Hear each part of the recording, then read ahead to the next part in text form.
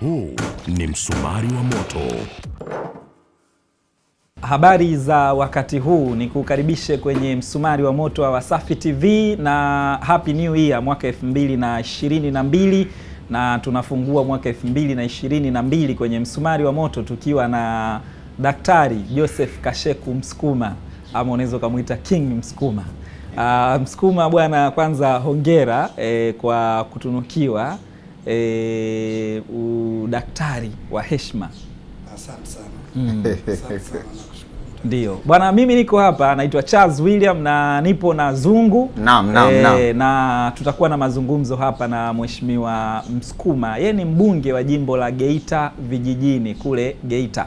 Mheshimiwa Msukuma, tuanzie hapo hapo kwenye udaktari e, udaktari wa heshima. Baada ya kutunukiwa kwako, maneno yalikuwa ni mengi sana, wengi wakisema ni PhD ya mchongo kwamba fedha imetumika pale, umetoa fedha, umetunukiwa PhD ya heshima, na wengine wakahoji, Msukuma, umefanya yapi makubwa nchi hii mpaka upewe PhD peke yako na kile chuo? Okay. Nashukuru japokuwa kiukweli sikuwa ninataka kuzungumza swala hilo, lakini kwa sababu tumepata muda wa kuzungumza Mm. Nina ninabidi niongee kwa sababu niliona pia mitandaoni watu wali walijibishana wenyewe. Yaani issue tu ni kwamba kwa sababu kapewa Msukuma, mimi sikuelewa, lakini huu utaratibu huko kwenye vyuo vyote duniani. Hata vyuo vyetu vya Tanzania vimesha kuwapa watu fulani fulani, lakini ni ngumu sana kwa chombo chochote au mtu yoyote eh, angesikia kama kwa mfano eh, amepewa waziri fulani hiyo PhD ya heshima au angepewa rais mstaafu, yani ingekuwa kwa level ile. Sasa kilichokuja kuwa cha ajabu, mimi nishajibrand ni darasa la saba, wakawa najiuliza mtu inawezekanaje kuwa darasa la saba halafu uka, uka, uka, ukapewa PhD. Mimi ni- nipende tu kuambia kwanza, sio mara ya kwanza hiki chuo ambacho kilinipa hii hii heshima mm. tumeanza mchakato mwaka 2017 na sio kazi ndogo mpaka kukubali kupata hii heshima. Tumebishana muda mrefu sana, na kwa mtu ambaye haelewi anaweza akafikiri labda mimi nililetewa, nimekaa nyumbani, nimeenda nimejiridhisha mpaka chuo chenyewe. Ndio maana wakati watu wengine wanasema hiki eh, hiki chuo ni feki, hakipo. Mimi mwenyewe nimesafiri, nimeenda Marekani, nimejiridhisha hicho chuo, lakini pia ule mkusanyiko wa vile vyuo ambavyo vimenijadili kunipa hiyo heshima nimefika kwenye vyuo vyao tisa, na kitu ambacho kingine hakijui hawakijui, nitaeleza huko mbele. Hata hapa Tanzania chuo kikuu cha Dar es Salaam kupitia kitivo cha Kiswahili nani kina Profesa Mtembe na wenzie wameshanifuata, sio mara moja, mwaka 2019 mwaka 2018. Mimi nawaambia hivi nilivyo, niko sahihi, siamini chochote katika karatasi, kwa sababu sio kwamba Watanzania hawaoni kazi ninazozifanya, na hata tukiwahoja hawa wakuu wa chuo wa vyuo waliowapa wengine wenzangu waliowahi kupewa hapa Tanzania mm. wengine hata niliyoyafanya mimi hawajayafanya au wameyafanya kwa kutumia nafasi walizonazo. Sasa mimi kuna vitu ambavyo nimevifanya bila nafasi, bila chochote, bila msaada, lakini nimewiwa kufanya, na wenzetu weupe kwa kweli wameniona na wakanifuatilia. Nimeenda kule nilivyojiridhisha, tumekuja nao wao wenyewe kwa gharama zao, wameenda wamezunguka kwenye jimbo langu, wameenda mikoa zaidi ya kumi kuuliza, kwa sababu mimi ni maarufu Tanzania nzima Ndiyo, na moja ya vitu vinavyonifanya nijulikane mm. ni misimamo yangu ya kazi. Sijaanza kwenye ubunge, nilikuwa mwenyekiti wa halmashauri, nilikuwa mwenyekiti wa mkoa. Ni nani ambaye mtu mwenye uwezo wake na maisha yake anaweza akakubali maisha yake kuwekwa jela kwa sababu ya kutetea watu? Mimi kama mtu ambaye haelewi, nimewahi kulala lock up mara saba na shida kubwa sana ilikuwa ni mgodi wetu wa Geita. Sisi tunatoka sehemu ambayo inasifika duniani na dhahabu, lakini unakuta tulikuwa tunalipwa dola laki mbili na nusu kwa mwaka. Sasa mimi nilivyokuwa mwenyekiti wa halmashauri, tumeanza huo mchakato mwaka elfu mbili na kumi na moja kwamba kweli tunapata laki mbili tu dola. Nani alitunga hizi sheria? na wakati huo hata CSR ni- nani CSR yenyewe service levy tulikuwa tuna wameweka sheria kule bungeni kwamba e, e, makampuni yatalipa service levy pale palipo na ofisi ya makao makuu.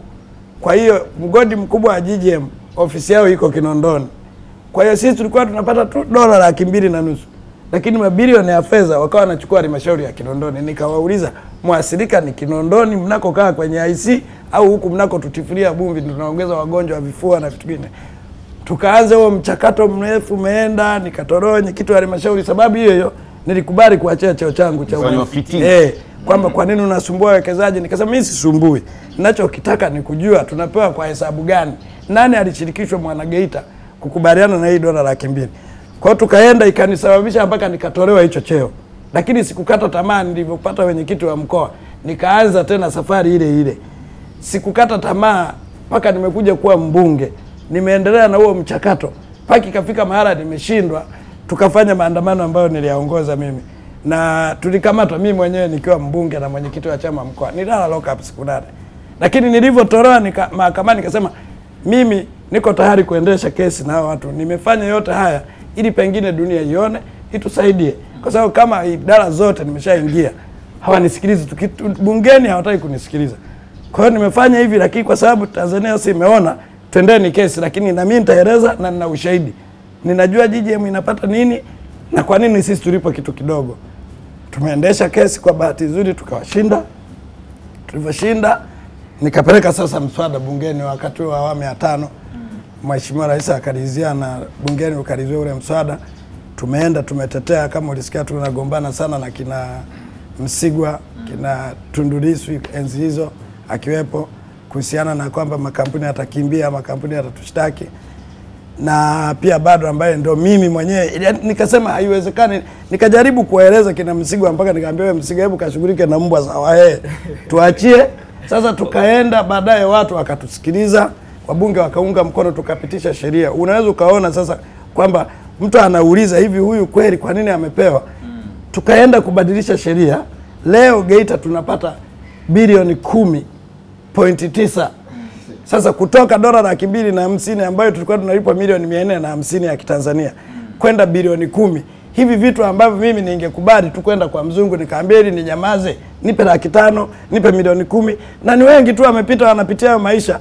Na hata mimi mwenyewe niliwahi kufuatwa na mgodi nikapewa hizo hela nikazikimbia. Dola kabisa kwenye mabeki. Eh, mheshimiwa na nikatoka hapo nikatangaza hadharani nimepewa hela na walifukuzwa wengine walifukuzwa walikuwa madc walikuwemo kwenye mchongo hapa Dar es Salaam ni Afrika nikakataa zile hela nikaenda nikatangaza maandamano kwa sababu nilikuwa nimeshaona kumbe hawa wanataka kunizimisha. Leo Geita imebadilika tunapata bilioni kumi. Oh, harakati hizo unasema ndo zimeileta PhD yako na si hizi taarifa ambazo tunaambiwa kwamba eh, watu kadhaa akiwemo Askofu Bagonza alinukuliwa akiandika kwamba hata yeye aliwahi kutafutwa na watu wanaotaka kumpa PhD. Unajua Watanzania Tena amelipia wa- milioni kadhaa. ni mabingwa sana wa, ku, wa kuongea, na mimi ni- bahati nzuri mimi ni Mkristo. Bagonza kwenye imani ni baba ambaye kiroho tunaamini ni baba.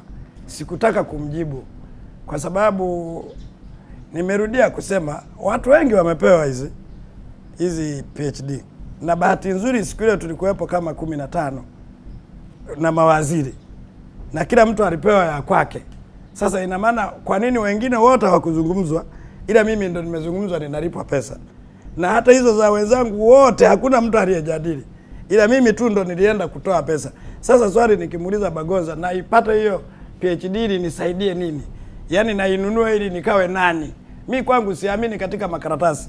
Anayehangaika na hayo makaratasi yake yeye mwenyewe Bagonza ndo anajua mwenyewe. Mimi siamini katika hilo na maisha yangu na kazi zangu mpaka hapa nilipo. Askofu alisema uongo, Alisema uongo tena mtakatifu. askofu wa Mungu. Yaani akitaka tubishane, hata akishika Biblia na mimi naishika hapa, ashuhudie kama kweli mimi nilitoa. Aliongopea waumini na wale wanaomwamini katika swala lako. niwaambie Watanzania, mimi hii hii awadi sikutoa hela, na bahati nzuri hii sherehe imefanyikia Dodoma kwenye ukumbi wa mkuu wa mkoa. Huyu profesa alikuja Tanzania, ndo uone sasa. Alivyokuja Tanzania kipindi ile bado wenzetu wana mambo haya ya corona na corona na nini, mm. -hmm. hakutaka kulala hotelini. Mimi nina apartment pale, alilipa milioni moja na laki tano kodi.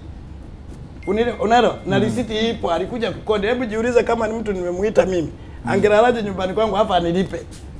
Yani alisema mimi nitalipa hela ya mwezi mzima lakini nitakaa siku tatu nikimaliza shughuli yangu naondoka Huyo ni profesa huyo ni profesa eh, huyo aliyetoka Marekani.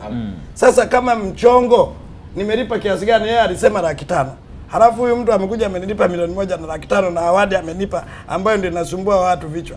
Ndio maana mimi nikasema tu kwamba mtu anayeumia aje aniue achukue.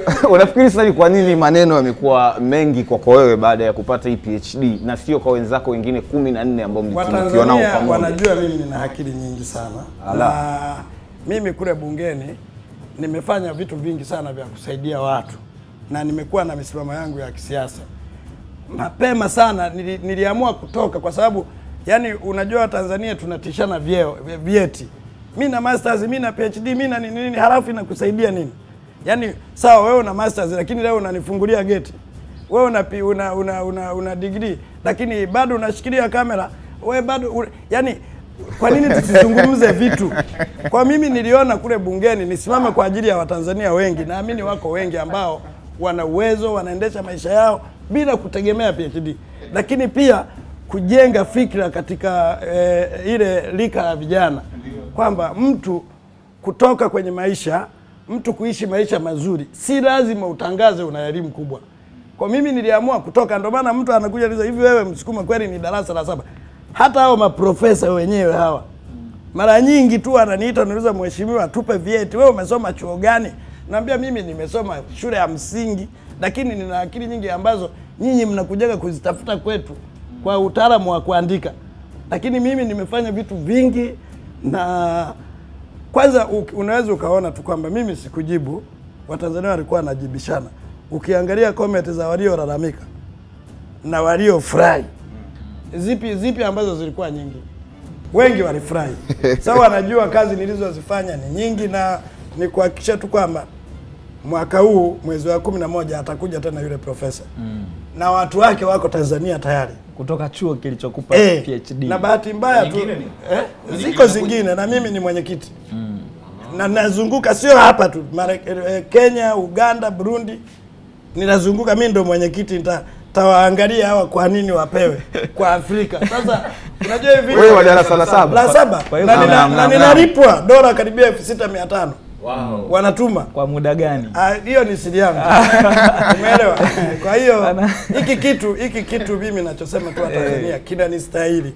Na wala sio kwa bahati mbaya, hata kama hakitanisaidia popote, lakini ni, ni, mimi nimefurahi moyoni kwamba hata kama kwetu hawanitambui, lakini wale watu wa kimataifa, hebu jiulize, mtu ametoka Marekani na vyuo. Mimi bahati nzuri ningekuletea cheti changu hapa, kipo kina vyuo tisa pale chini vyuo tisa hivi, watu wote au unaweza ukawahonga nini? Eh, Hebu tulipewa watu kumi na tano, unamlipa shingapi huyo mtu anakuja Tanzania? Na hapa ndani nina barua ya kile chuo, wanaomba kuja kukutana na serikali ya Tanzania. Yaani kwanza wenyewe wali, kwa sababu waliomba sifa za hawa watu waliopendekezwa, tukapelekwa, wengine wana masters, wengine wana degree moja. Yaani mimi peke yake ndo nilikuwa darasa la saba. Kwa hiyo sikuwemo kabisa kwenye orodha ya chuo kushangaa, na wao wenyewe kule kule Marekani waliuliza sana, huyu tuletee vitu vyake. Mara tatu tatu watu wanarudi kuja wanarudisha mpaka wakafikia ule mjadala. Sasa baada ya kuwa tumepewa, mimi nikawa gumzo kubwa duniani na watu wengine wajuaji wakawa wanaongea, oh, chuo kipo chuo kipo Hakijasajiliwa. Kimewahi Eh, eh. kutapeli watu wengine. wale tangazo kwamba kuna watu tumewapa Marekani Marekani ya eh, chuo eh, chao. Marekani Eh.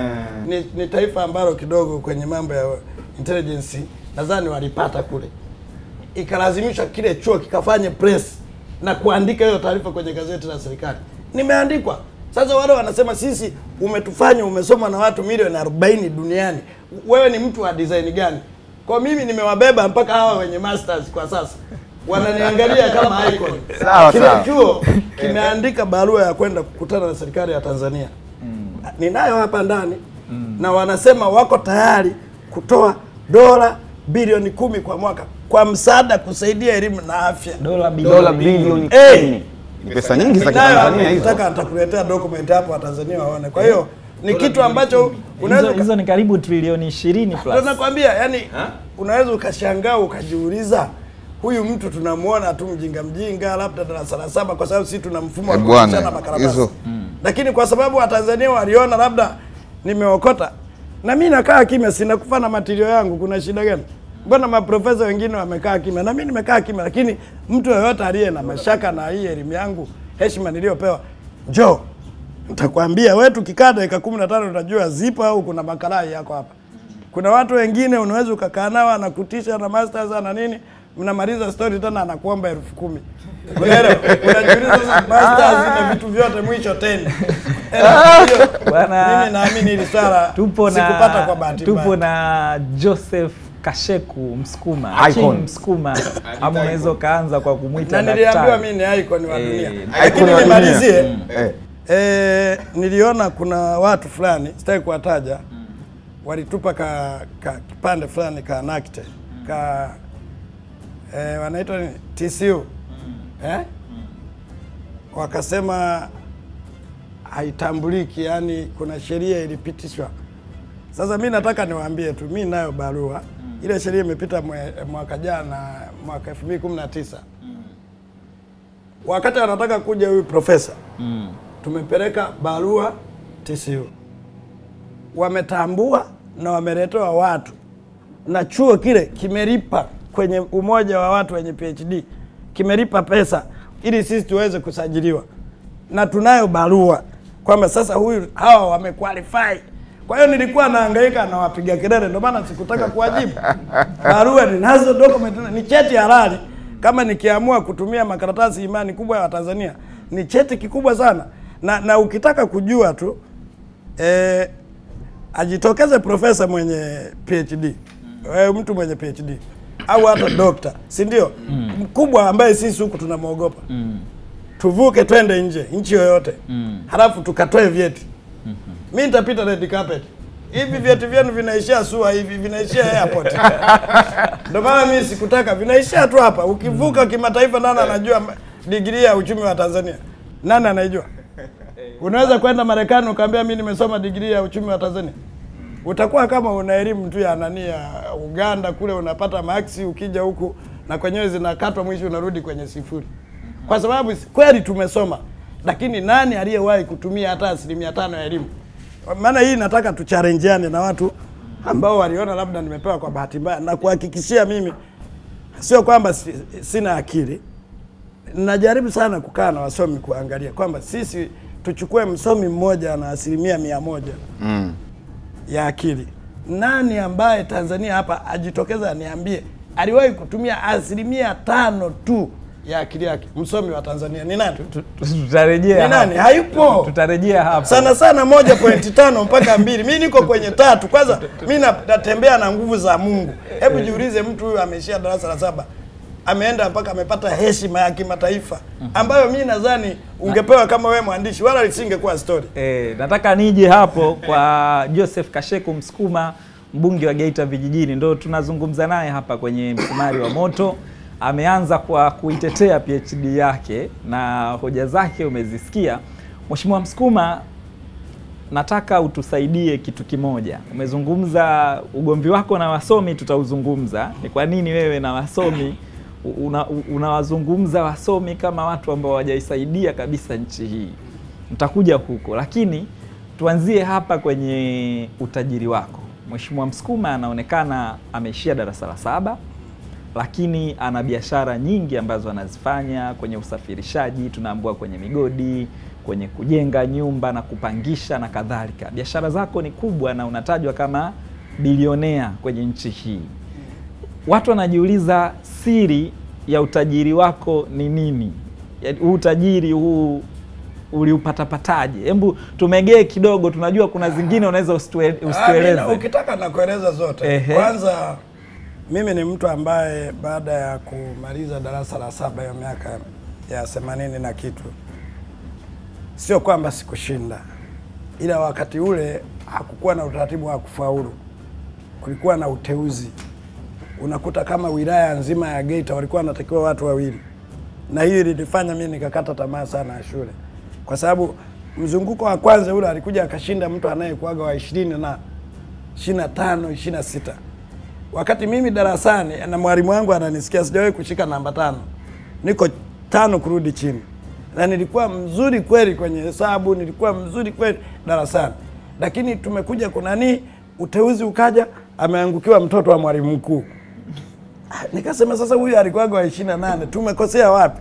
Tukijaribu kuangalia, ndo fomu ilikuwepo zamani, mtoto wa mwenyekiti, mtoto wa meneja wa duka la kijiji, vitu kama. Nikafanya mzunguko wa pili, akaja akachukuliwa mtoto wa bwana shamba, mtu karibia wa thelathini na tano. Sasa mimi nilikuwa napenda sana kucheza mpira sana. Sasa wakati ule tunacheza mambo ya umishumita, timu ya mkoa na nini, e, ikatokea sasa wale watu wa machimboni kule Geita walikuwa na timu zinashindana za matajiri, wakaja kunichukua, alafu akawa ananilipa shilingi elfu tano kwa siku. Kwa hiyo tumeenda tumeenda, nilivyopata mtaji, shida nyingine ilikuwa ni masuala ya malezi yale ya kwenye mambo ya mpira, kwa sababu kule kulikuwa na tabia kidogo sio nzuri. Mimi mama yangu aliendea, mama yangu mimi ndo ameendea, sikulelewa na baba. Aka akawa ananiambia ninavyoona kwenye mwelekeo wa mpira utakuja kuwa mvuta bangi, achana na hii biashara. Kwa hiyo nikawa nina kamtaji kama ka elfu sabini ndo nikaanza kuja nako Dar es Salaam. Sasa. Enzi hizo. Miaka ya themanini na nane hivi, nakuja nanunua vinguo napeleka machimboni nauza hivyo hivyo. Mama yangu ananipikia vitumbua na mihogo, ananifungia, ananiambia usile chochote Dar es Salaam wanakuweka watakuwekea madawa ya kulevya wakuibie. Kwa hiyo nakuja na miogo yangu na mandazi, siku tatu za njiani kwenye treni, siku moja ya kununua, siku saba hivyo vitu ninavyo kwenye nailoni nafunga kwenye duksi ya suruali, mpaka narudi nikinua kafurushi kangu na kakalia kwenye sedi mle. Kwa hiyo tumeenda tumeenda, baadaye nikaja nikaoa mwaka tisini na nne. Nilivyooa eh, nikahama. Kwa nilivyohama nikahamia dadangu mmoja ambaye alitulea ambaye ndo unasikiaga wanasema alimlea Makonda. Akaniambia wewe, kichwa hiki sio cha kukaa mjini, cha kukaa kijijini, njoo ukae hapa, utakaa hii nyumba na mke wako. Akanipa nyumba pale Pasiasi, ambapo hata huyo eh, Daudi alikuwa anakaa pale Makonda. mm. Kwa hiyo tukakaa pale, natembeza miwa Mwanza mle, nauza Unamzungumzia mama Kamese. Mama Kamese, mm. mama Kamese anaitwa Bernadetta Kamese. mm. Bernadetta Mariagiri. Eh, basi tumeenda na huo mzunguko mpaka nikapata maisha yangu, nikaamua kwenda kupanga, akaniruhusu. Nikapanga kwa Nabwiru, ndo nilipopata kijana wangu wa kwanza mwaka 95, 96. Kwa hiyo tumeenda na huo mzunguko sasa, baadaye nika nikawa na mtaji kidogo umepevuka, nikafungua duka kubwa sana. Ukifika Mwanza pale kuna mtaa maarufu sana unaitwa Libet ambao una maarufu kuuza sukari, ngano, yani ndio mtaa kama Kongo kwa Mwanza. Sasa mimi nilikuwa tumechangia na mtu Nyerere Road, baadaye tukagombana, nikaamua kwenda kuanza maisha yangu kwenye ka kichochoro. Mimi ndo nimeanzisha mtaa ule wa Libet wa Mwanza na duka langu miaka hiyo, miaka ya 97 96 nikakamatwa, hii mambo ya operation machinga, vitu vyangu vikaenda vikatupwa duka zima. Kwa hiyo tukaanza tena kuparangana, tukaparangana, baadaye tukawa na duka sasa. Pale tumepata hela, tumechukua frame kubwa ghorofani pale, tumeenda tumefika mahala, hela zimekuwa nyingi, lakini unajua kwenye mambo ya biashara, nikafika mahala nikatapeliwa zile hela karibia zote, zikiwemo na za watu wanaonidai. Sasa nikawa sina namna, kuna wanaovumilia, kuna wanaotaka kupeleka jela. Mm. Sasa nilikuwa watu wengine ambao si wavumilivu wakawa wameamua kuni kunipeleka yani mahakamani, sijui polisi, sijui wapi. Nakumbuka hiyo siku ilikuwa asubuhi, duka langu lilikuwa kidogo kwenye ngazi, kwa hiyo mtu anayekuja unamuona. Ikaja gari ya polisi pale na vijana tayari nikamatwa. Sasa mtu ameenda kulalamika na nidai nadhani kama milioni ishirini thelathini, lakini sina hela, na bahati nzuri mimi bado nilikuwa najipa tumaini itakuwa na hela baadaye, lakini sikuwa na chochote. Hata ningeuza duka lote na familia yangu, madeni yale niliyokuwa nayo isingeweza kuyalipa. Kwa hiyo nilivyoona ile gari imekuja, nikamwambia mke wangu, bwana, hapa mambo yameharibika, nikizubaa mimi nitaenda jela kwa sababu nikiwekwa hapa hamna wa kunitoa, alafu watakuja na wengine. Kwa hiyo dawa mimi hapa natoroka. Unatorokaje? na nje kuna polisi. Nikaingia ndani, kulikuwa na store kwa nyuma, nikamwita kijana wangu mmoja, nikamwambia, wakati huo kidogo kidogo kwa nilikuwa na kamwili kadogo dogo, nikamwambia hebu toa viberiti kwenye box la viberiti. Kwa hiyo nikatolewa kwenye, wakatoa vile viberiti, nikaingia mle ndani, nikatobolewa tu sehemu ya pua. Kwa hiyo nikapigwa kamba, nikaenda nikawekwa kwenye pickup. Kwa hiyo nimewaacha polisi wako pale, sasa ndo wanaandaa makaratasi ili wakasachi mle ndani. Mimi huyo yule askari anaitwa Peter, niliwahi kumsaidia akiwa Mwanza, anataka kufukuzwa kazi, mambo ya mtaani. Nikamwombea kwa wakubwa na nini na nini, nikamlipia faini yake, akawa kumbe alipewa transfer. Yeye naye anajua mimi ni tajiri, akaona labda kwa heshima niliyokuwa nayo Mwanza, alivyokuwa ananijua mimi nilikuwa naleta mizigo kutoka Kenya, maboti ama meli Kabla eh, kabla eh. Kwa hiyo ikabidi anipeleke guest ile. Kipindi hicho Korogwe ni hoteli maarufu ilikuwa inaitwa Miami, kama shilingi elfu ishirini kwa siku. Utambue mfukoni niko te, sina kitu. Sasa kwa sababu naumwa, sina namna, siwezi kuhoji, labda nikasema hii ndo labda ya rais, kumbe ndo hoteli gari. Ikabidi nilale pale siku ya kwanza, siku ya pili akatokea dada mmoja akawa ananisaidia kunikanda, ananiambia kuna watu wanatibu kienyeji, anakuja nao na madawa yale nakunywa kama siku kumi na tano hivi nikawa nimepata nafuu, naweza kutoka barabarani narudi. Sasa kimbembe kikaanza kwenye bili, sasa unadaiwa e, eh, unadaiwa. Tunafanyaje? Ah, Sasa ni, kilichotokea mimi nilichokifanya, saa yangu ilikuwa nzuri sana, nikaenda nikaiuza kama laki na elfu sabini kwa trafiki mmoja. Nilivyoiuza nikaenda nikalipa madeni yote hotelini, kwa sababu ilikuwa mpaka na chakula. Naambia hela zinakuja na vijana, tumi tajiri, nakula vizuri, maini nini wananiandalia. Hata ningeamua kulaza na wale nilikuwa nawauzia kicheche. Kwa hiyo nikaamua sasa nikalipe madeni, sina pa kwenda, nina elfu sabini imebaki mfukoni. Kwa hiyo nilichokifanya ikabidi niende niende nikanunue mbao. Mbao, unajua zile surplus, nikatengeneza mwenyewe kimeza na kifomu, nika nikanunua na brush mbili na shushaini, nikaanza kupiga kiu. Kwa mi nikaenda nikanunua tu safret, nikawa nalala madukani, wale wa, wa matajiri wakifunga, mi nalala sokoni kule Kibarazani. Mi maarufu sana Korogwe nikafanya hiyo kazi. Sasa watu wakawa nasema huyu, wanasemaga ni tajiri, huyu ni usalama wa taifa, huyu anachunguza kitu. Kwa hiyo hata kule nikilala kule na wale wasera mle sokoni wanaogopa, naambia huo moto huo msisogee hapo, huyu ana kazi maalum. Hata wakija wapatrona wenyewe walishaambiwa na yule polisi, ambia huyu mshikaji huyu sio huyu, kuna kitu anakifanya hapa, atapotea, hawanigusi. Kwa nikaenda nikaenda nikaenda, sasa ikaja ikatokea mtu mmoja kumbe ameniona anataka anifate. Kila nikijifunika namwona nikicheki hivi naona miguu inakuja. Bwana jamaa anambia wewe vipi? Akanibinulia ile kofia anambia bana maisha alishakataa mshikaji sikutaka unione. Kwa hiyo haya ulioyaona hapa wala usiwaeleze mwanzo mimi nilikimbia sina kitu. Eh basi akaniachia hapo na elfu hamsini akasepa. Sasa alivyorudi kule Mwanza unajua unaweza ukakaa na watu bila kujua kama umemsaidia mtu wala nini. Siku moja katika maongezi yake alikuwa amekaa karibu na mlebanoni mmoja. Akamwambia bana bana mimi yule mlebanoni alikuwa rafiki yangu. Aliwahi kuleta ngano fulani inaitwa chapabili alivyoleta hapa mambo ya bandari na mambo ya kinaaza mwaya, haya ikazuiliwa zile kontena mpaka zikaharibika. Yaani amezitoa zikiwa mbovu sasa mimi duka langu Mwanza ndo lilikuwa linauza kweli kweli. Kwa hiyo sisi tukawa tuna tu, ah, nikamwambia wewe, watu wakaambia ili upone hapa, mpe huyu jamaa kuuzie. Akanipa kama kontena nne, hela nyingi kweli. Na mimi sasa nikawa nafanya ninachokijua, sitaki kueleza hapa. Na na vingine mifuko tofauti na nini nauza. Na chekecha anafanya hivi ile ikaisha nikamwokolea karibu milioni mia mbili.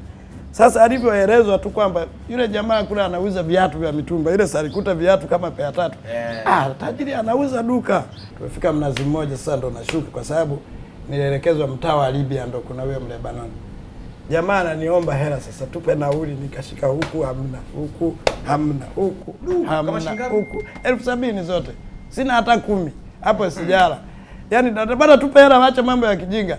Ninakatisha hata angenivulisha akafika hata mia mbili jamaa nipiga bonge ya kofi, huwa sasa mimi gari lilivyoondoka nikafuta tu kofi langu vizuri, nikalia hapo, nikatembea nikaenda mtaa wa Libya, mwandikia gari tatu.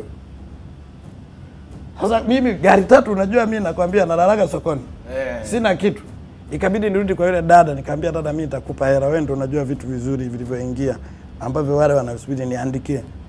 Akaniandikia oda oda ki, ki, ki, ki. Gari tatu. Unajua mzigo wa samani shilingi ngapi? Milioni mia mbili hamsini na sita. Kapelekewa akacheka akasema, sasa hii ndo nzuri, kafanya biashara miezi miwili uniletee hela yangu. Gari umepaki wapi? Yeye anajua mimi ni tajiri. uko vizuri, Nikamwambia magari nimeacha Mnazi Mmoja, chukua oda, nenda kapakie Pugu Road. Nikabeba ile oda yangu, akili za biashara nilikuwa nazo, ila nilikuwa nimekwama. Nikafika pale, watu si wanakimbiaga, eh, tuna gari, tuna gari, wale madalali. Nikamwona mmoja, nikamwambia anaitwa Backtown, ni rafiki yangu sana, mpaka leo yupo, ana marori, anaendaga Arusha.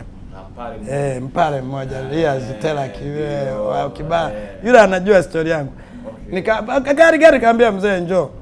Hebu na, nataka gari tatu oda hii hapa kapakia. Good Ilala. Ah. Pugu Road. Eh, sawa. Nunua na tumafuta. nikaonekana mtu kapiga na wali maharage kwa mara ya kwanza. Elewa? Basi jamaa amemaliza kupakia na nipigia tumeshamaliza kupakia njoo twende. Lakini hapo ujue nina mzigo wa milioni mia mbili na na mimi sina kitu, unanielewa vizuri, na asubuhi nadaiwa. Hasa bahati nzuri, siku ya asubuhi yake ilikuwa mnada pale, ile tumesomba mpaka karibia saa moja moja hivi. "Hey, tunaambiaga huyu jamaa usalama huyu ametoa wapi hela huyu? Nawambia hapa ni moto, sijui ni nini.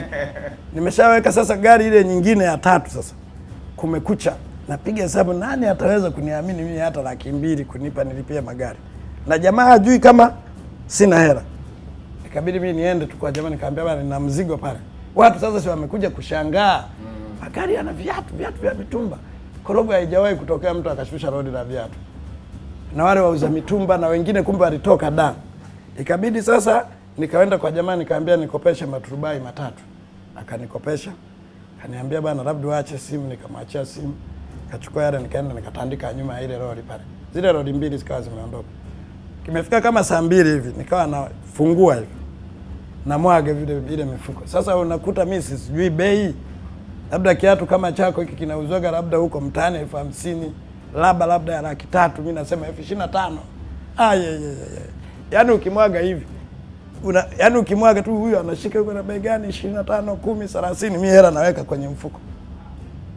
Kikiri, kikiri, kikiri, kikiri. Imefika saa sita, kiroba kile nilichokikalia kimejaa hela pesa. Eh, nikafunga kwanza, nikatoka nikaingiza ndani, weka kufuri, nikachukua hela ya mwenye gari imepatikana, nikamlipa mwaka viatu, naambia gari itaenda jioni, nitakuongeza hela mwaka viatu, mwaka viatu.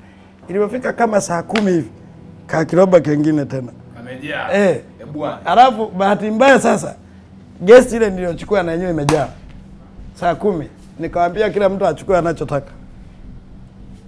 Ukienda Korogwe, mimi hata nikitaka jimbo leo la Korogwe, mimi ni mbunge. Yaani kila mtu achukue anachotaka. Nikasema jamani, sina pa kuweka, gawaneni vilivyobaki. Ha? Watu hawaamini, wewe mwenye hiki mwenye hiki. Mimi Mi nikarudi zangu ndani, nimefunga, mwenye gara ameondoka, nikaanza kuhesabu hela, nikahesabu nikahesabu nikahesabu. Hii story kama kuna mtu wa Korogwe atanisikiliza utaipata hii story. Ananijua vizuri, yani yaani nataka nataka nataka watu wa. Korogwe ndo wawe shuhuda. Eh. Nikahesabu hera usiku, nina kama milioni mia moja na sitini. Ule mzigo ulikuwa milioni mia mbili kama sitini hamsini na kitu sitini na kitu. Sasa ile kugawa, Wasambaa nao ni wako kama Wasukuma, asema yani, kuna lisukuma kule lishamba linagawa viatu, sijui mweu saa kumi na mbili Wasambaa walishaambizana huko milimani, wako pale nje. Wanasubiri. Mi nikatoka na ile staili cha elfu ishirini thelathini arobaini hela kwenye mfuko, elfu ngapi ngapi, imefika tena saa kumi, gawaneni vilivyobaki. Nikaenda kwa hesabu ndani, nina mia na. Sijui umeelewa? Hii habari wewe kama kuna mtu wa Korogwe, kama mtu wa Korogwe mia mbili na kwa siku moja, kama kuna mtu wa Korogwe atasikiliza hii story, sio story ya kutungwa. Mimi sikupewa PhD kimakosa, ni mtu ambayo nimeaswa. Ah. Umeelewa? Siku ya tatu nikaenda, wale wanaoenda wanaambizana, wanatoka mpaka da, wanatoka Moshi, wale wakina mama asubuhi mtindo ule ule, thelathini ngapi ngapi ngapi, kiroba changu kimejaa nani, saa kumi tena kugawa. Unanielewa vizuri? Siku ya tatu nikahesabu hela, ninakumbuka nilikuwa kama na milioni mia nne na ishirini Eh. Ndani ya siku tatu. tatu eh. na sikupeleka benki. Kata viatu, ile viatu ilikuwa ni grade 1 nakata viatu, nauza, na gawa. Mimi ni maarufu sana, ukiuliza mkoa wa Tanga mtu anaitwa Msukuma, ni kwa sababu hiyo. Hakuhusisha na ushirikina na kugawa viatu. Una ushirikina wa wapi? Hata wakihusisha mimi nasikiliza, kwa sababu mimi najua nilichokuwa nakifanya. Kwa hiyo tukapiga ule mzigo mpaka namaliza. Sasa mara ya mwisho sasa viatu nagawa, ukijumisha na nilizo nazo nimeshapata kama milioni mia nne nimeshalipa na deni, sijui kama umenielewa. Nikamwambia Mwarabu, chukua hizi hela, agizia mizigo. Kwa baadaye yule Mlebanoni sasa akiwa anataka kuleta mzigo ananiambia kwanza, mimi na makontena sita, utachukua mangapi? Labda mawili. Ah, chukua. Kwa hiyo- Kwa hiyo msingi wa utajiri wako ni kwa huyo Mlebanoni. Sio hiyo tu, msingi wa utajiri ni uaminifu. Mlebanoni aliletwa na Mungu kwa sababu mimi pia nilimfanyia fadhila hizi hizi story kwamba msukuma utajiri wake ulitokana na Na hii story nadhani Watanzania wataona nimezungumza, hii ni mara ya pili tia 4 bilioni. Mheshimiwa Msukuma, tutarudi hapo na mazungumzo marefu kuhusiana na historia yake ya utajiri. Sasa tuna tunahama hapo, lakini kabla hatujahama, Bwana Zungu, kama una chochote kuhusu hilo e, uulize ili tu, tu, tuhame tu- tu- kabisa ya, lakini kwenye kwenye hilo kwa, kwa kifupi sana sasa hivi utajiri wako unakadiriwa kuwa ni kiasi gani? Kwa sababu tunaambiwa upo kwenye migodi ya madini, upo kwenye biashara ya Ah, mabasi, upo kwenye Mimi apartment. sio mtu wa mitandao na Eh. sihitaji kuzungumza na na sisi hatujafundishwa hivyo Mm. na sihitaji ku, kuambia watu hivyo mm. watu, wa- watu wanaona Lakini biashara ulizonazo sasa hivi ni zipi na zipi? watu wanaona mimi ni mfanyabiashara watu wanaona, sihitaji kusema nina biashara gani. Eh. Watanzania wanajua tuna biashara gani, lakini tumejikita sana kwenye biashara ya nyumba Nyumba, kwa apartment. sababu tumefanya kazi zote karibia nyingi, nimefanya nafanya transport nafanya nini, lakini tumejaribu kuwekeza kwa kiasi kikubwa sana kwenye nyumba apartment. Si, mi sina hobi ya hoteli Mm, mm. mi nafanya kazi ya apartment Mm. eh, Na apartment zako zipo wapi na wapi? ziko sehemu nyingi lakini tunaweza kufika kwenye mia tano mia nne Zipo apartment 500, 400. Tunaweza kufika yeye. Bwana Zungu. lakini pia nafuga naweza kuwa na ng'ombe kama elfu sita saba Eh? Eh, tunafuga. Ng'ombe? Sisi ni wajasiriamali Ng'ombe elfu sita elfu saba. Eh, mimi siwezi kusema na tano, kutangazia tutangazi, mimi sio Diamond. Mabasi mabasi tulikuwa na mabasi sitini Eh. lakini baada ya kuwa bize na siasa Mm. niliamua kubadilisha nirudi kwenye nyumba nikayauza mabasi. Sasa hivi tumebakiza kama mabasi kumi tu na mbili ambayo yenyewe special ni kwa ajili ya jimbo langu tu. mm -hmm. Ninalilea jimbo langu mpaka sasa, yani nina miaka ishirini pale, Mm. hatujawahi kupandisha nauli zaidi ya elfu tano elfu tano tu. mafuta elfu tatu Elfu tano kutoka wapi hadi wapi? Kutoka Mwanza kwenda jimboni kwangu, Mm. ni za jimboni tu, Hamtaki kutoka gari. pale Ah, kwenye ah. ubunge. Kwanza Msukuma, mi nataka atueleze, atusaidie, anaelewa nini ama anahisi nini akisikia neno Sukuma Gang? Okay, unajua Watanzania lazima waelewe, mimi ni mwanasiasa ambaye nimejitengeneza mwenyewe kutokana na misimamo. Ninajaribu kuona kuna siasa ya uongo, siasa ya mitandaoni. Mimi nimejitengeneza kwenye kuamini katika siasa ya kuambia watu ukweli na kuwasaidia. Huwezi ukatengeneza kitu kinaitwa Sukuma Gang kwa kanda, hasa linakosemwa linatoka kanda ya Ziwa. Huwezi ukatengeneza chochote kinachohusu siasa, mimi ukanitoa nje. Lakini mimi nili, niliuliza hata swali. Unajua Watanzania tumekuwa bizi sana na swala la mitandao, na tunaamini kwamba rais aliyetoka alitoka kanda ya Ziwa. E, na alifanya kazi na mama vizuri tu, kwa sababu mimi Magufuli alikuwa rafiki yangu, na by the way nilikuwa bosi wake Mm. nilikuwa mwenyekiti wake wa mkoa, kwa hiyo mm. mambo mengi tumeshare hata kabla ya urais Mm. lakini la pili ni mtu tumetoka kijiji kimoja, tumekuwa pamoja, acha Chato kule kwao Mm. Kule jimboni kwangu ndo kwenye makaburi ya ukoo wa kina Magufuli kule walihamishwa na mambo ya ufugaji. Kwa Kwao ni mtu ambaye nilikuwa naongea naye, Ndio. si kwamba yuko na mama Samia kwa watu wanavyofikiria alimchukua mama Samia kwa bahati mbaya. Mm. Magufuli alikuwa ni mtu kidogo anaamini vitu vyake Mungu na kumwangalia mtu, na ingekuwa kama mama Magufuli akumpenda mama angempiga chini wakati wa uchaguzi huu apite. 2020. Hakuwa na hata hilo wazo, sio yeye, sio waziri mkuu wake, mm. wote aliwabemba kwa sababu kile chochote alichokifanya kwenye mafanikio yake mm. ambayo Watanzania wanayakumbuka ha, hakuamua peke yake zaidi ya kuwa na hii timu yake mm -hmm. makamu na waziri mkuu. mm. Kwa hiyo baada ya marehemu kufariki, watu wakawa wanatafuta namna yoyote kwa hofu kwamba labda kwa sababu sisi kanda ya ziwa kwenye kura za CCM sisi tuna majority kubwa Mm. lakini pia kwenye teuzi kwenye chaguzi labda kwenye maamuzi ya vikao na nini sisi tunaweza kuwa tuna kura nyingi mm. kwa hiyo watu wakatengeneza hilo kundi wako watu wachache hawazidi Sukuma gang. Wa, watu wachache tena sio mm. wasukuma mm. yaani wakawa wanatafuta kitu cha kuchafua ile kanda ya ziwa Ah, ni ndani ya CCM Kwa, hiyo taarifa kwamba Joseph Kasheku Msukuma mm. na Askofu Josephat Gwajima ndio viongozi wa Sukuma Gang Kwanza ndio maana nilikuwa nasema hakuna hicho kitu. Watanzania wanajua kabisa, sio kwamba hata rais ajui, hata vyombo. Watanzania wanajua.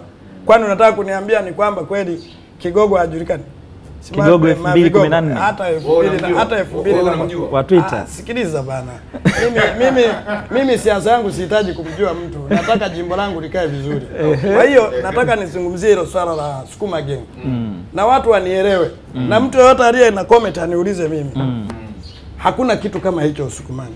Narudia kukwambia, kwanza sisi ukiitisha kikao cha kuisema serikali mkazidi wanne, ikizidi sana hiyo siri itakaa dakika kumi na tano. Ni kabila ambayo hatuwezi kutunza siri ya majungu.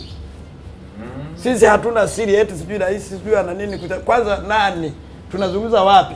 Kwa hiyo nilizungumza hata juzi kwamba hakuna kitu kinaitwa Sukuma gengi haipo kwa sababu kingekuwepo mimi ningekuwa mshirika tunakaa wapi na wanao appreciate hilo sukuma gengi ni watu wanaoshinda mitandaoni nani aliyetuweza kutuunganisha sisi kandaziwa mpaka tukakaa kikao? Wapi? Na lini? Nani huyo? Josephat Gwajima anakaa Dar es Salaam ana mambo yake ya kanisa. Mimi msukuma na mambo yangu Geita. Kila mtu ana mambo yake. Sisi tunaamini katika serikali ya mama Samia peke yake. Ila watu wanapitisha hizo hizo slogan za kusema sukuma gang sukuma gang. Kitu kingine kiku, kiki, ki, watanzania lazima waelewe. E, hatuongei kwa ubaya kwamba sisi tumeru, tumelelewa kwa kwa utanzania wetu. Hatujawahi kubaguana kwa ukabila. Na ukweli sisi tumebarikiwa kuzaa. Tuko wengi sana. Yaani mwanaume mpole kabisa ana kumi na mbili kwenda mbele. Wewe una wangapi? hiyo ni siri yangu. Hiyo ni siri yangu. Lakini tunazaa. Eh. na tumeruhusiwa tuzae. Lakini ukienda zamani sisi tulikuwa hatuendi sana shule mm. hii lazima watanzania bahati nzuri mi si, si, si vizii chochote kwamba navizia uwaziri ah. mm.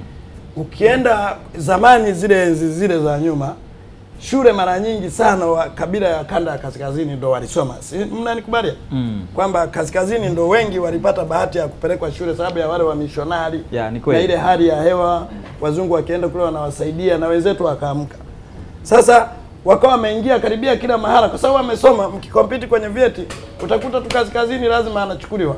Sasa sisi tumesoma na tukatawanyishwa tukaambiwa yani lazima tuzae.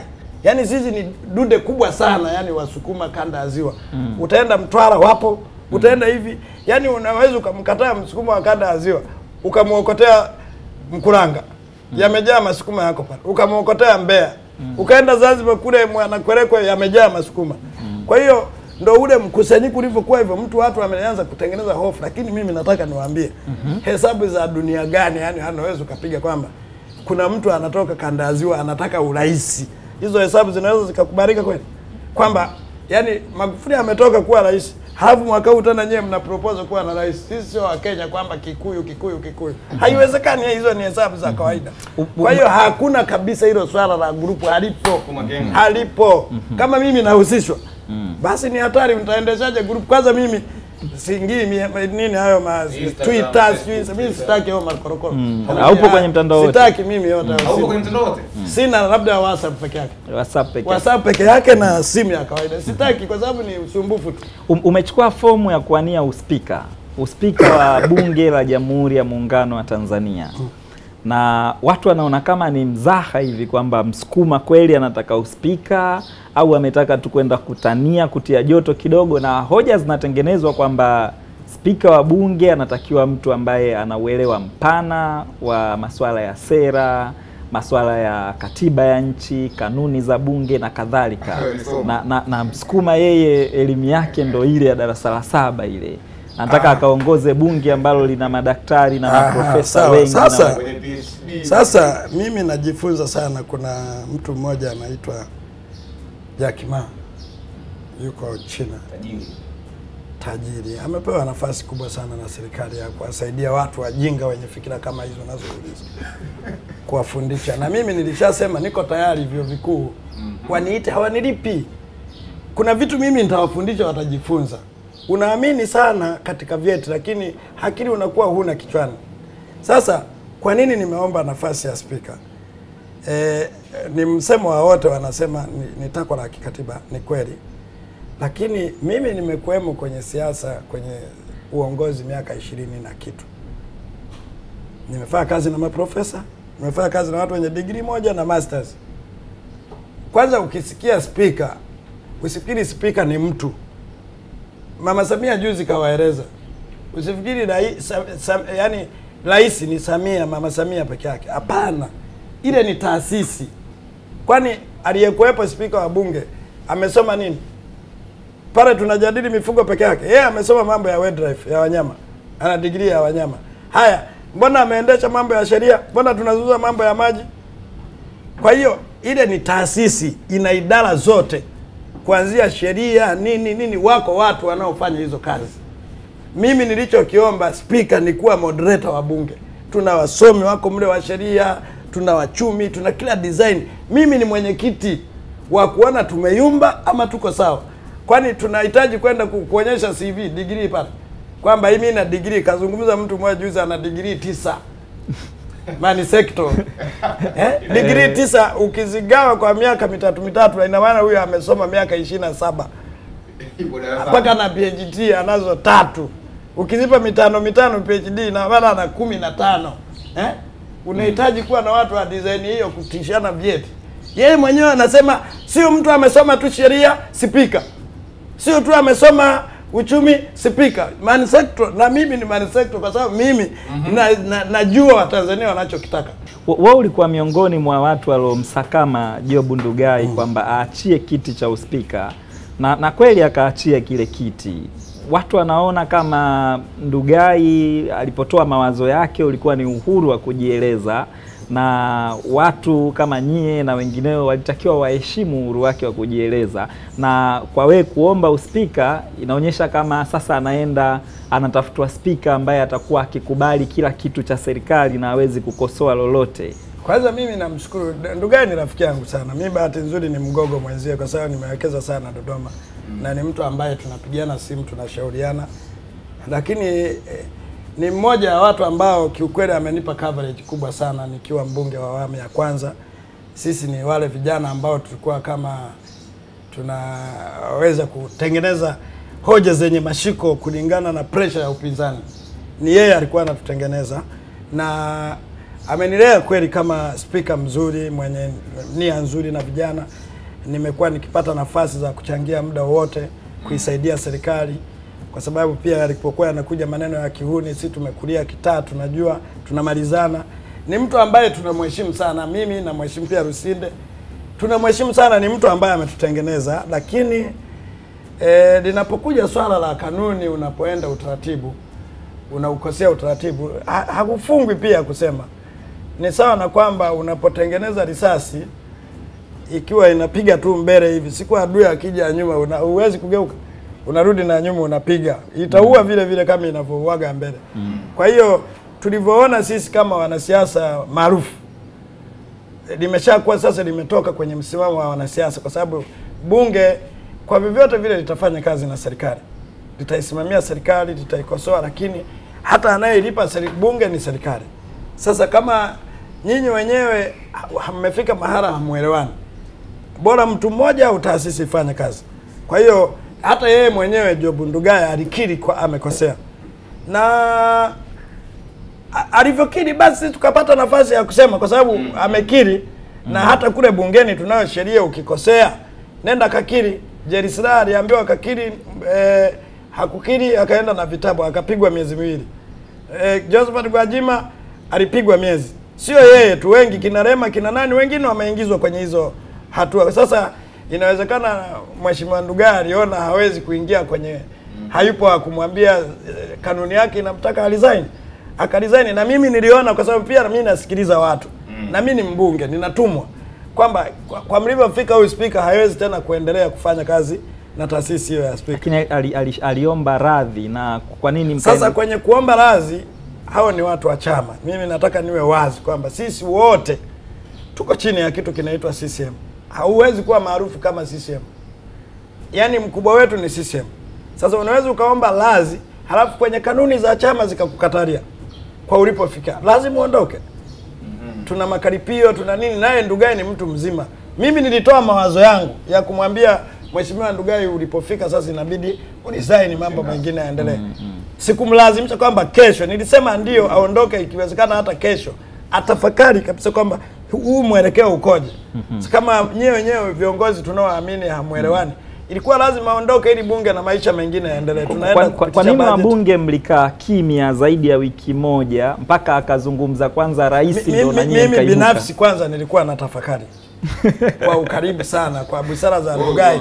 Kilitokea nini, lakini pia mimi ni mtu ambaye nilijaribu kutumia hata uwezo wangu mwingine wa pembeni wa kukutana na wale waandishi, nikaziomba zile story kwamba pengine nyie mlimtengeneza huyu mzee, wakanipa, ninayo ndo hata mtu yote akitaka, mimi nayo, nikapata kwamba mtu aliongea yeye mwenyewe. Na unajua bahati mbaya sana nyie watu wa vyombo mnaweza mkampandisha mtu na unaweza ukamshusha dakika sifuri. Ndo, ndo, ndo uzuri wa waandishi wa habari. Kwa hiyo yeye inawezekana alizungumza kwa mizaa alafu nyie Kwa maana hiyo lakini tayari imeshakiuka kanuni. sasa, kwa, kwa, kwa maana hiyo nilikwambia uwezo wa Spika Ndugai, wewe si mtaalamu wa kisiasa, kwa naamini uwezo wako wa uchambuzi pia ni mkubwa. Amekuwa spika toka mwaka elfu mbili kumi na tano mpaka pale ambapo amejiuzulu.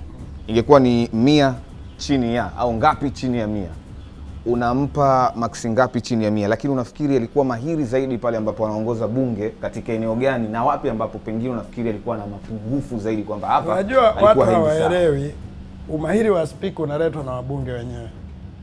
Sisi wenyewe mle bungeni tukiamua kumdisqualify spika hamalizi muda, kwani anatuzuia kubishana? Sisi ndo tunamtengeneza spika kwa sababu tuna tunapompa mtu spika, cha kwanza tunamheshimu. Amefanya kazi nzuri, huwezi kusema hakufanya kazi. Amepata makosa na si Ndugai wa kwanza, watu wengi wameresign maofisi makubwa, mpaka na marais wengine wamejiuzuru. Yaani haimaanishi kwamba inafuta vitu vyote alivyovifanya, kwamba hakuwa na akili, hakujafanya kitu. Aliyoyafanya mazuri, Watanzania watakumbuka. Alipoteleza basi, ameamua kujiuzuru. Hatuhitaji kumjadili, kuendelea kumjadili mtu ambaye amesema nakili nimekosea, na chama chake kikasema aresign. Ameresign. Mimi nadhani tuzungumze tu mambo ambayo twende mbele, tusirudi nyuma. Amefanya mazuri, amefanya mistake, ametoka. Ni sawa na wabunge wengi tu wamefukuzwa bungeni, wengine wana adhabu, wengine wamefutiwa wanachama na vyama vyao, vitu kama hivyo. hapo hapo kwenye uh, kwenye uspika Godbless Lema ambaye ulikuwa naye bunge lililopita kuna wakati aliwahi kusema bungeni, mkitumaliza sisi wapinzani mtagombana nyinyi kwa nyinyi, ama kutoka kuna mafarakano baina ya CCM kwa CCM. Kwa haya ambayo yametokea, e, wakuu wa mihimili kuonekana kutofautiana, huoni kama yale ambayo yalisemwa na Godbless Lema ama na wale ambao ni wapinzani wenu wakaamini ya kwamba mmewamaliza wao kwa kuwaonea, sasa hivi mnapambana nyinyi kwa ninyi, ni ya ukweli? Kiukweli mnapambana nyie kwa nyie? Hayo hata mimi niliwahi kutabiri kwamba kale ni, kalikuwa ni kagenge ka wahuni kachadema kale kakina Godbless. Bless. Ndio, kwani mi naogopa kukwambia ndio. Inawezekana Chadema ina washabiki, lakini mimi nimekaa nao wale crew ile. Niliwaambia mimi kwenye mkutano na nilimwambia Roasa nikiwa Monduli kwenye kampeni kwamba haka unakozunguka nako ni ka grupu fulani ka wahuni katafika mahala kanatawanyika. Hakakumaliza miezi sita, Roasa akachomoka, Sumaya akatoka, eh, kakasambaa. Yaani sasa hivi ndo kama kwenye mitandao, umeelewa? Kwa hiyo aliyoyazungumza Godbless Lema siwezi kumagnoa kwa sababu eh, Lema naye ana maono yake, lakini wewe eh, mchambuzi, hebu niambie e, CCM ni chama kikubwa sana cha cha cha cha cha, cha siasa kimebeba watu wote including na wewe unaweza kana ni CCM na wengine wako nje na washabiki. Ni chama kikongwe. Unadhani mnaweza mkakaa miaka mitano hamgombani? Nyewe wenyewe Wasafi tunausikiaga mziki mnagombana na nikatasika watu hamsini. Kwa hiyo kugombana, kusokolana, hivyo ni vitu vya kawaida, lakini waliotengeneza kanuni walijua kuna mahala tutagombana na, na, na si, kama tumegombana tu Chadema ambapo hawakuingia bungeni. CCM kuna vitu vingi sana vinafanyika. Mimi niliwahi kutolewa mwaka elfu mbili na kumi na moja tena kwa Mbinde, nimeshika wezi na nikatolewa, unaelewa, nikaambiwa "Ah, ah, ah," nikatolewa nje, lakini sikukata tamaa, nilibaki. Kwa hiyo hata Lema ametabiri hiki ni chama kikubwa, kama wao wenyewe tu kule wanashikana uchawi. Zito yuko wapi kwenye Chadema? Yumo. Mashinji yuko wapi? wote hawa wamechomoka. Lowassa yuko wapi? Sumaye yuko wapi? Wote hao wameshindwa na nikaa chama ambako pengine tuseme ni, ni kikubwa cha kwanza kwa Tanzania, lakini cha pili kwenye CCM, lakini wanagombana wenyewe. Je, taasisi ambayo ina mamiradi ya matrilioni ya hela mtashindwa kugombana? Kwa ni vitu vya kawaida. Huu ni msumari wa moto.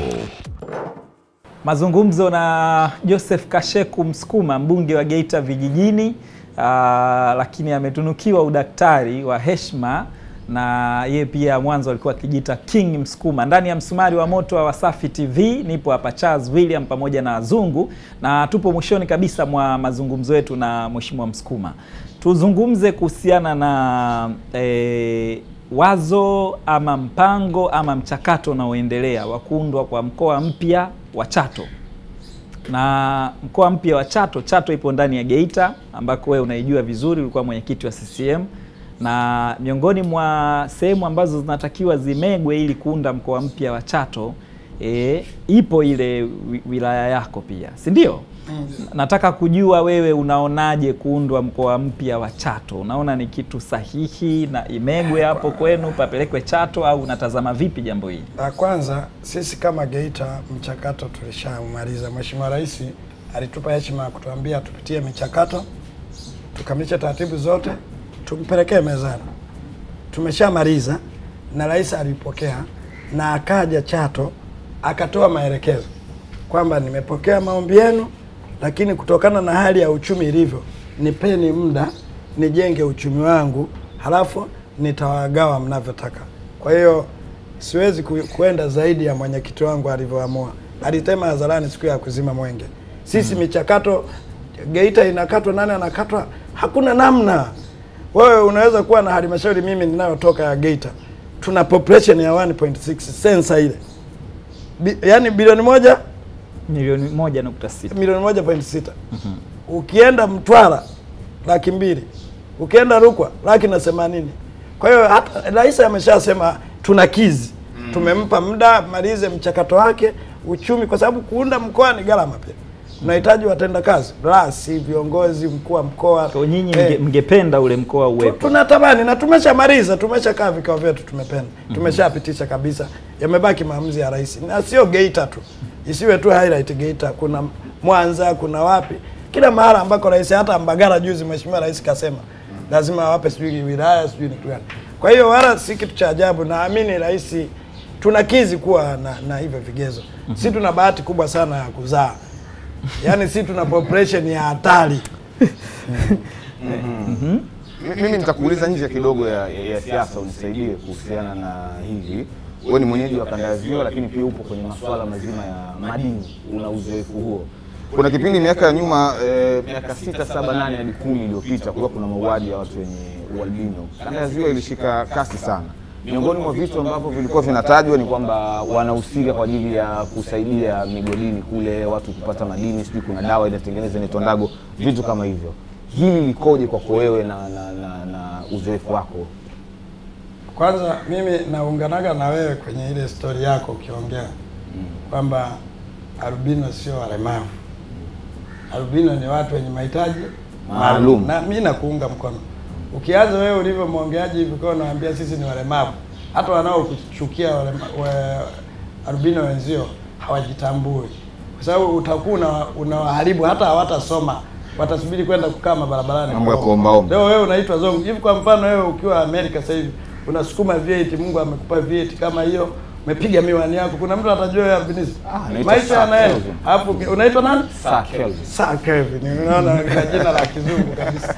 Kwa hiyo ule ulikuwa ni upepo, na Watanzania wasitu blacklist wachimbaji kwamba walikuwa na waua ili wapate madini. Ma, definition ya binadamu na madini ni kitu cha ajabu sana, na tunajitahidi sana sisi kuelimisha wachimbaji wetu ile mambo ya kuchimba na dawa, mambo ya waganga wa kienyeji ilishapitwa. Siku hizi kuna teknolojia, na sisi wenyewe tume- tu- tu- tuna vikundi vyetu vya kupigia kelele.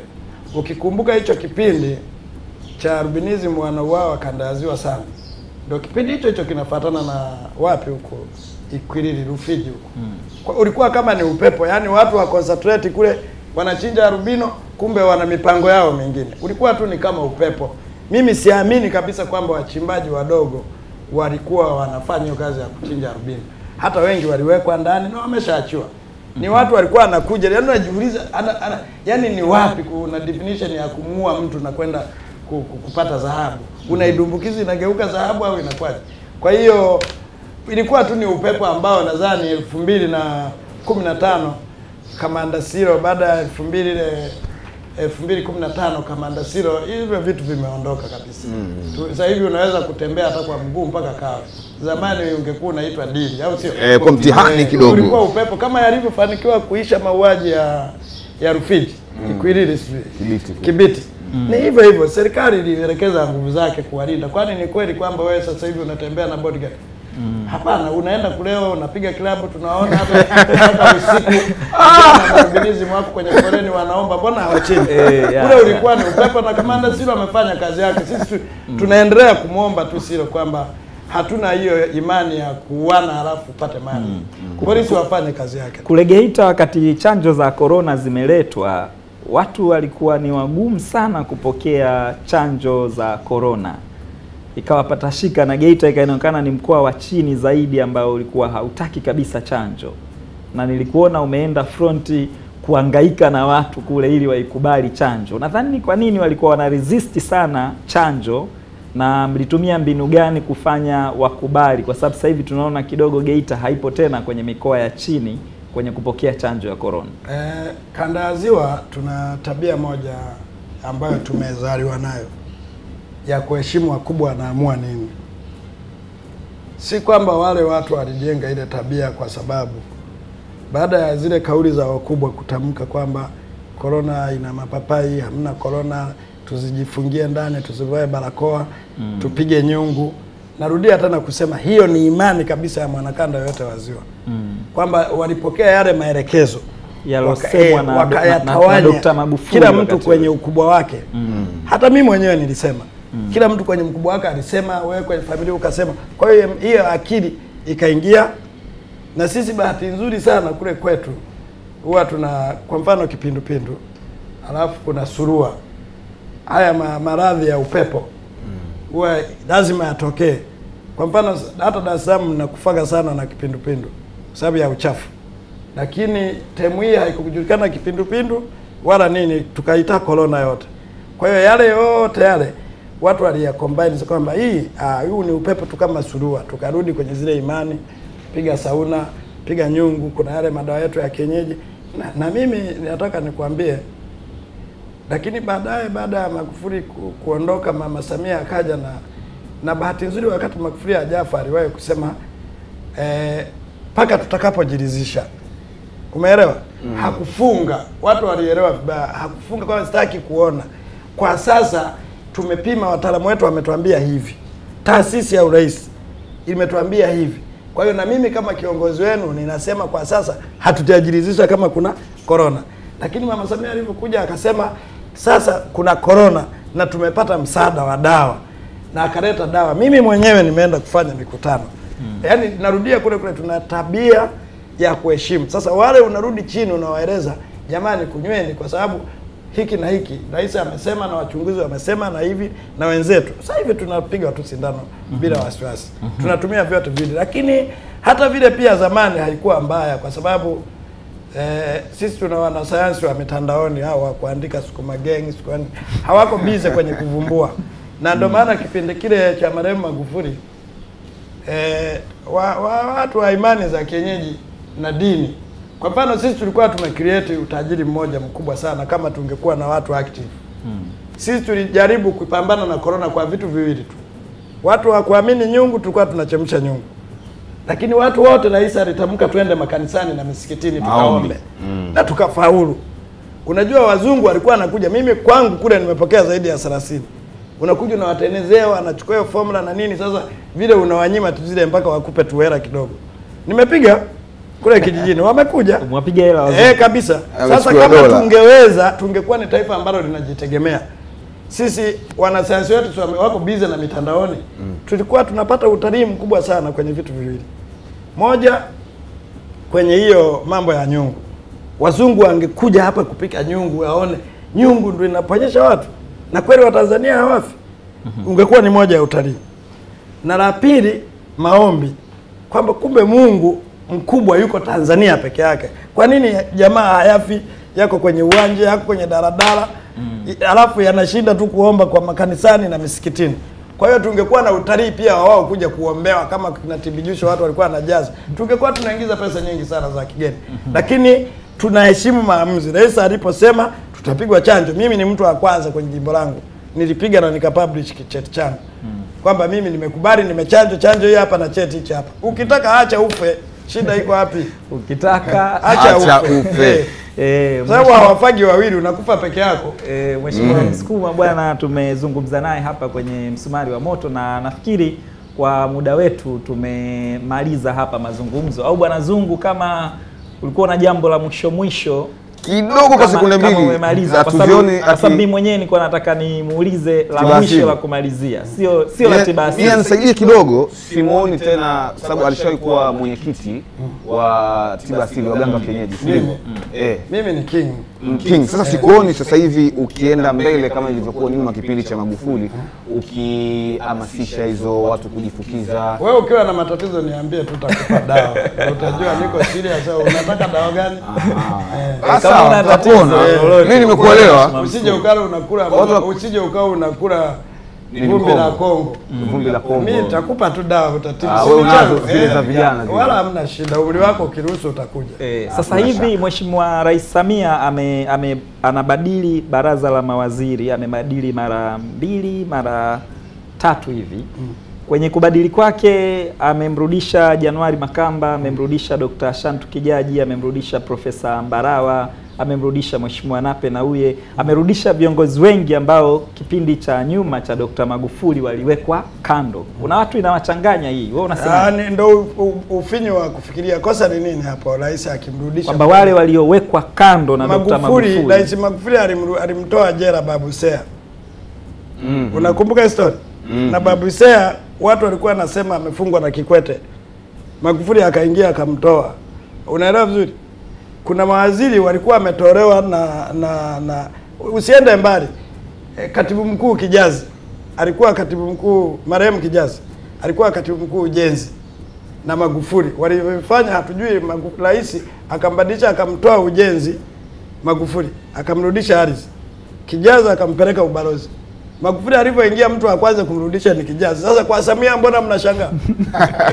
Yaani haki yake ni rais Icon na kifuatacho mtakuja kushangaa akinipa mimi uwaziri, kwa sababu sifa ninazo. sasa iko hapo. Kwanza kwanza kwanza, ukiangalia Rais Samia amekuwa kidogo mstaarabu anavyosema. Kwa kipindi kama hiki cha Magufuli alikuwa ameshabadilisha mawaziri mara nne. Sasa huyu mara mbili kwa miezi minane, watu wanalalamika. Shida iko wapi? bado hajatumbua hata wakurugenzi. Kwa Magufuli mwezi mitatu tu wakurugenzi nusu walishatemwa. Sasa hii kwanza, mama anaendesha nchi vizuri sana kwa upole. Huyu ndo hata mi naweza nikakubali sasa niwe waziri wa wizara yake moja, kwa sababu sio mtu wa kwanza. Kina Bibi Titi walikuwa wa darasa la saba mm, lakini walikuwa mawaziri tena, na Rais Samia ameenda juu sijui kumzika sijui kufanya kwenye hitima yake kule wanawake wale alitumika vizuri, hana hata kashfa, kwa sababu unajua mimi ukinipa kazi, mimi nimekuwa mwenyekiti wa halmashauri, nimetumikia halmashauri mpaka ikaenda kuwa namba moja Tanzania. sijawahi kupata kashfa ya rushwa, sijawahi kunini, mimi sijawahi kunini, hatujawahi kupata hati chafu. Nilikuti na hati chafu mpaka nikaiache na hati safi. Nimekuwa mwenyekiti wa mkoa, mkoa wangu niliusimamia, ndio ulikuwa unaongoza kambi kubwa ya upinzani kanda ya Ziwa, ilikuwa Geita. Nikasambaratisha, nikawa wa kwanza kitaifa. Sasa unanipa uwaziri, kwani unaibu waziri au waziri una kazi gani? Ile, ile ni taasisi na ndio itakuwa vizuri, kwa sababu mimi nitaenda na haya mawazo aliyomwambia mama juzi. Ukipewa wizara unapewa wewe, badilisha money sense. Hili la wewe ku- ku- kugombana na wasomi wa nchi kwamba hawajafanya lolote hawajasaidia nchi hakuna mtu anatumia akili yake Mtanzania, tumelogwa kabisa hata wasomi. Oho. Tuna, tuna, tunatumia tu copy and paste. Mimi nakukumbusha moja tu, ukinipa nafasi uvumilie dakika moja. elfu mbili kumi na sita elfu mbili kumi na sita bajeti ya madini, waziri mipango, rais, makamu wa rais akiwa waziri wa waziri wa fedha. Mimi nilishika shilingi, watu wananishangaa. Kitabu chake namba 80 namba 40 au 80 ameandika wachimbaji wadogo wa Tanzania wanatarajiwa kucontribute kodi ya milioni 81. Nikamuuliza waziri, kweli umeambi haya maneno ni ya miaka hii ya karibuni au ni ya mwaka 40? Kweli wachimbaji wote Tanzania tulipe kodi milioni 80? Nikamwambia hii kitu haiwezekani, hawakunielewa na kaka yangu mipango tunaheshimiana, nikasema basi narudisha shilingi. Lakini tulipotoka pale tukakaa naye nikamwelewesha, na rais nikamwambia, rais, kuna moja mbili, hampati hela kwa sababu watu wako wamekariri kodi za wezi. Huwezi ukapata dhahabu milioni mia unapata shilingi laki tatu hafu nataka nilipe milioni hamsini na saba. Hii kitu haiwezekani. Waite wafanyabiashara tukueleze ukweli, usitupeleke jela. Magufuli akakubali akatuita pale Mwalimu Nyerere, sio Julius, inaitwaje convention pale? Watu wakafunguka kama unakumbuka vizuri. Akatoa kodi kutoka hamsini na saba ikarudi kodi saba. Angalia hera tuliko leo tuna bilioni ngapi za kodi? Mwaka uliofuata tu kutoka milioni themanini na moja tukaenda 1 milioni bilioni bilioni inasema milioni bilioni mia moja na zaidi Kwa unaona kuna wasomi wametufelisha kwenye mambo- wametuferisha. Nani aliyeleta ukugundua mchanga unaibiwa na, na madini? Mimi hapa na nimemwambia muongo, chukua maiki hapa, hawa kwa humu si tunaiba nao hao, humu kuna dhahabu. Akatangaza huyu ni darasa saba, hawezi kumshauri profesa. Tukampelekea mwamba hiyo formula, mzee, huu mchanga huu ni hela, utaosha hivi, utaosha dakika tano. Mzee akapata dhahabu ya milioni kumi na sita akaenda na bandarini, tukashika makontena wametuferisha kwa sababu kwanza hawana muda wa kufikiri, wana muda wa kupesi tu. Leo huyu ana mtangazaji alikuwa anaitwa sijui Charles Hilary, unakadiri sauti ya Charles Hilary, kila mtu ana sauti yake. Tengeneza bajeti inayokubalika na maisha yetu ya Kitanzania. mazungumzo marefu kweli kweli hayo Bado narudia hizi Bado chaneli zenu, chaneli zenu Zipi sasa? hii Wasafi, Eh. nawaomba siku moja Ndio. mnitafutie mtu, acha acha PhD eh, tutagombana kwa sababu wote level moja. Tafutie profesa profesa akubali twende live kwenye TV. mruke nyie Eh, wewe na eh, mdahalo hivi. tufanye mdahalo wa uchumi. Ala. Ah, sasa wewe uchumi hujasomea Wewe mimi mimi na, na confidence na ninachokuambia. Kwani Watanzania walio na uchumi wamesoma? Wewe sio professional. Ndio hicho kinachotuangusha. Wewe unashikilia uchumi wa wa, wa, wa, Kwa hiyo wa Pakistani. Mimi nazungumza uchumi wa Watanzania. tukuandalie mdahalo Eh. wa, wa uchumi Wa uchumi. wewe na Na profesa na profesa asiwe dokta, nenda kwenye level nyingine. Tunaipokea. Ah, bwana wewe. Dr. Joseph Kasheku Msukuma, mbunge wa Geita vijijini, ndo tulikuwa tunazungumza naye hapa kwenye msumari wa moto wa Wasafi TV. Charles William ndo mimi na nilikuwa na Zungu hapa. Mazungumzo yetu yamekuwa marefu sana, na kwa leo tunaishia hapa. Tutajaribu kumwandalia mdahalo huo uh, Dr. Joseph Kaseku Msukuma e, tuone kama maprofesa hawa ambao yeye anasema kwamba wametuchelewesha kwenye mambo e, ataweza kuwatoa knockout kwenye kwenye mdahalo huu kama watakubali, lakini. E, kama watakubali tutafanya hivyo, lakini kwenye, kupitia Wasafi Media kule kwenye YouTube channel yetu unaweza ukasubscribe ili uweze kutazama msumari wa moto, lakini pia unaweza ukatutazama kupitia e, kingamuzi chako chochote ambacho unacho, kwa sababu tupo mpaka kwenye DSTV tunaonekana Afrika nzima, na huko pia unaweza ukatuona e, mara kwa mara kupitia mijadala ya msumari wa moto. Asante, mimi ni Charles William, unaweza ukanicheki Instagram at Charles underscore William 2, lakini mcheki pia Zungu kwenye official Zungu underscore. Tukutane tena wakati mwingine. Wasafi TV hii ni yetu sote, lakini Africa is watching. Huu ni msumari wa moto.